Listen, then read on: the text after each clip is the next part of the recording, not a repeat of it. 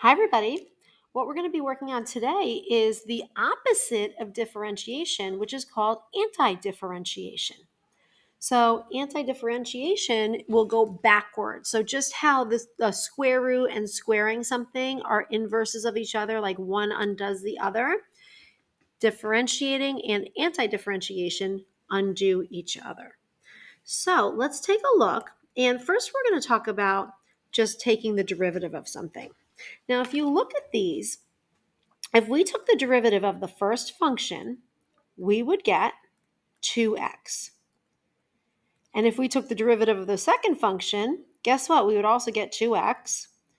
And if we took the derivative of this third function, we would get 2x. So it brings us to an important matter, which is when we undo this, taking of the derivative, right? When we do the antiderivative, we somehow have to account for the fact that there could be something added or subtracted to the antiderivative. So the way that we do that is we put plus c when we do the antiderivative. And I'm going to get into that right now, but that's going to be to account for that we could have had something added or subtracted from what our derivative you know what what our derivative is. So let's do some examples. Whoops. I'm going to show you how we do this. So, a couple things. We've got four little little rules here, and then we're going to have lots of practice. So, first four rules we're dealing with. The first one is the constant rule. So, with the constant rule, that basically says if you have the derivative of a function that's just a constant, that must mean that the function was that constant times x. And then, of course, plus c. So let's take a look at this. I want you to notice we have a new symbol that we're introducing that's called an integral. So when we take the antiderivative of 5, if we think about it, that must have been 5x in the original function. And then, of course, when we took the derivative, that x exponent of x went to zero, right? So 5x plus a constant. Okay, so if we had had, you know, take the derivative of 20,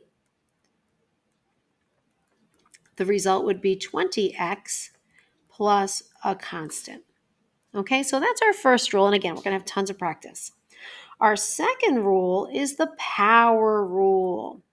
Now, we know when we take a derivative, and I'm going to do an example down here, like we take the derivative of x to the fifth. The way we do that is we bring our exponent down, so we multiply, and then we subtract 1 from our exponent up here, which would result in 5x to the fourth. Well, what we have to do is we have to undo the subtracting of 1 and we would have to undo the multiplying of 5. So if we were going backwards, if I was telling you to take the antiderivative of 5x to the fourth, what we would do is we would say, okay, add 1 to this, which would give us x to the fifth, and then divide by that exponent, which is 5. And of course, simplifying, we would get x to the fifth. But don't forget, we always have to put plus c for the possibility that there was a constant in the original function. And maybe that constant's zero, but we have to put that. So let's look at this. And here's our rule, okay, which just shows that we're adding 1 to what this exponent is, and then we're dividing by that value or multiplying by 1 over that value is the same thing. So the antiderivative of x cubed we're going to add 1 to the 3, so we get x to the fourth. But then we're going to divide by that 4 plus a constant. So that right there is our power rule. We're going to use that a lot. All right, the natural log rule. It's very simple. You just have to recognize it. When we have the antiderivative of 1 over x, it's simply the absolute the natural log of the absolute value of x. I forgot my absolute value symbols there, plus a constant.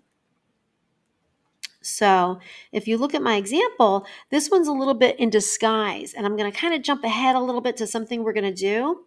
I'm going to move this 4 out in front of the integral. 4 times 1 over x dx. Now, let's take the derivative of, or the antiderivative, sorry, of 1 over x. We will get the natural log of the absolute value of x. And then we just put that 4 right in front of it. Okay, so by pulling that 4 out, it's like we could focus a little better on that. And then, of course, plus c. And again, that one is just more about recognizing it. You'll have that memorized in no time. All right, the fourth rule is when we have a base of e, and you'll notice that our exponent has a uh, coefficient. So it could be like e to the 2x or 3x or 4x or 5x. Think about if we were taking the derivative of e to the 5x, we would have to use chain rule. So our rule here understands that. So we keep our e to the ax, but we multiply it by 1 over the coefficient of the exponent right there. And of course, plus c. So for this one, we will get e to the 3x times 1 third. I just put it over 3. It means the same thing, plus a constant. So those are our first four rules. You're going to go ahead and practice them. So you can pause this video and try to do them, or you can keep the video going and I'm going to work through them. So if you're going to pause the video, pause it now. If you're going to stick with me, I'm just going to work through these one at a time. So the first one, what I see is we have a constant. So I know that derivative or the antiderivative will be 8x to the first, right? Plus a constant. And that's it. For the second one, I have 3x squared.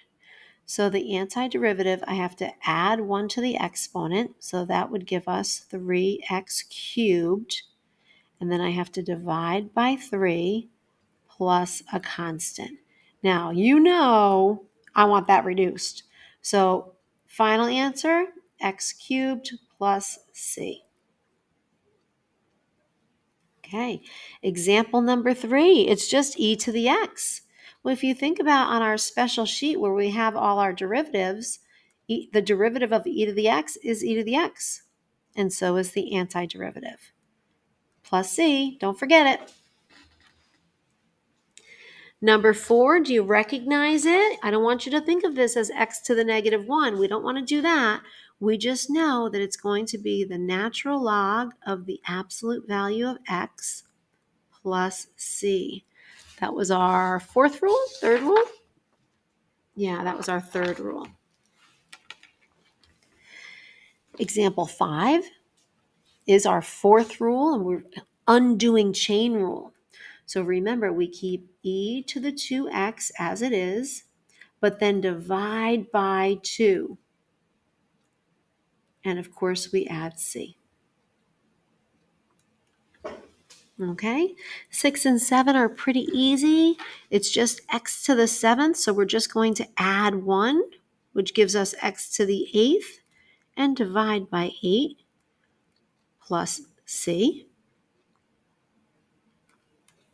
Number seven, same thing. We're going to add one, so we get x to the 100, but then divide that term by 100 and add C.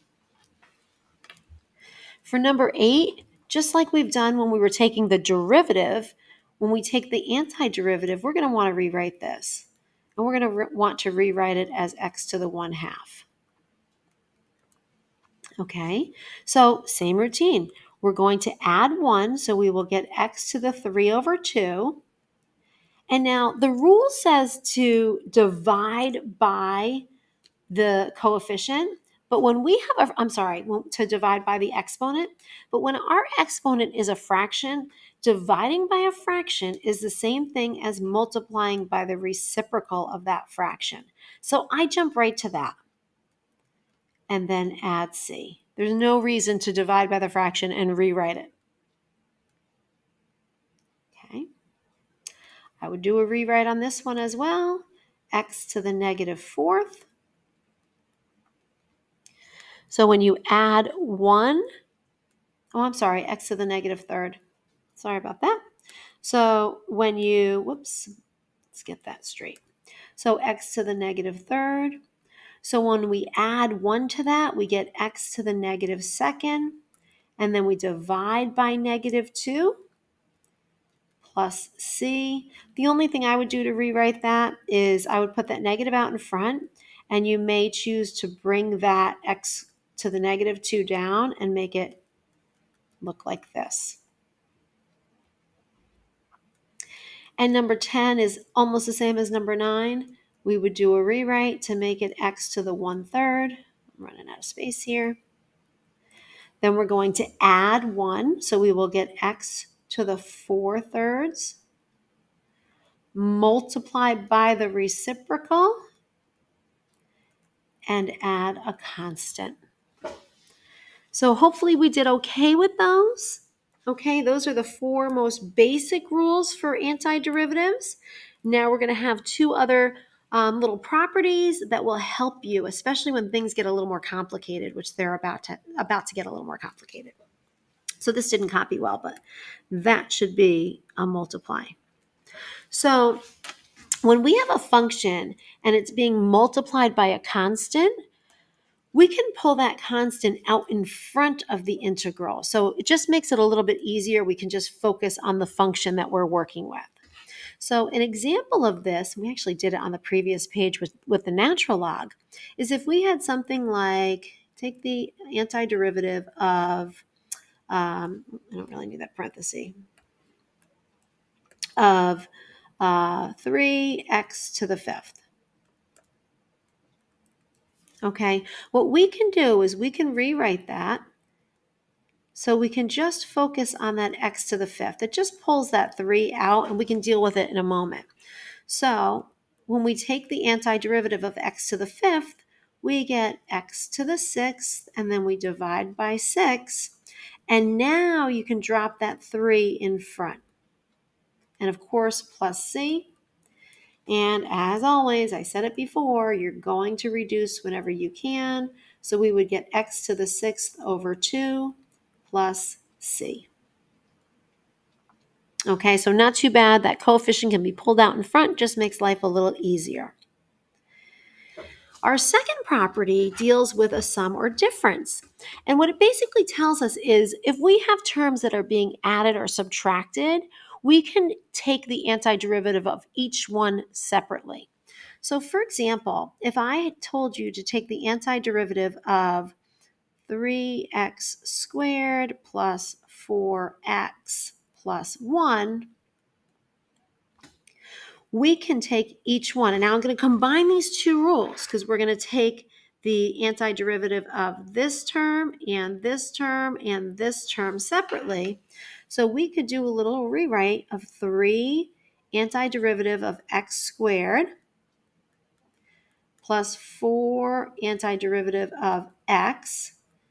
Oops, I forgot my dx. Plus the antiderivative of 1. And that way we're looking at each one separately. So the first one, we get x cubed divided by 3. And now we're going to put that 3 right in front. For the second one, we're going to get x squared. We're going to add one there. So we get x squared divided by 2. And then we're going to put that 4 out in front. 1 is just going to become 1x and of course plus a constant. And now you're going to go ahead and reduce this. So we get from the first one x cubed. From the second one, we get 2x squared. From the third term, we get x and we add our c. So that's a little helpful little property for us. Okay, so what I'd like for you to do is I'd like for you to try these four problems. Okay, what I would tell you though for this one, I would, whoops, I would go,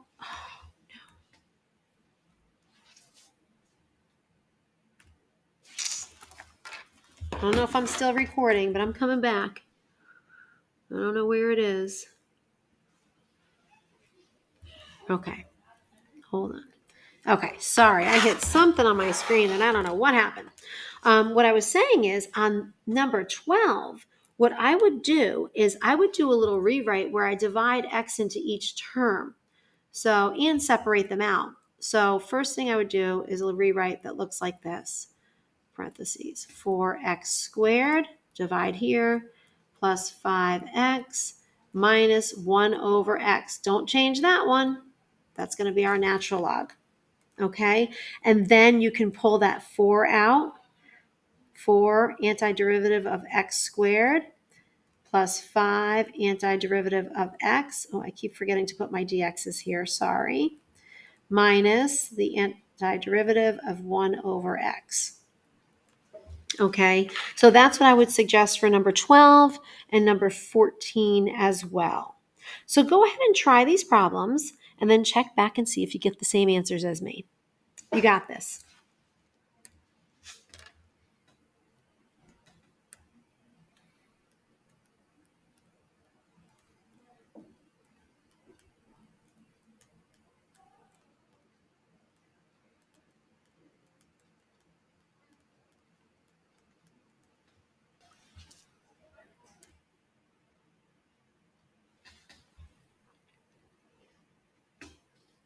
Okay, so hopefully you did okay on these. Check your answers. Take a look right here. I hope you recognize that. Okay, have a great day, everybody.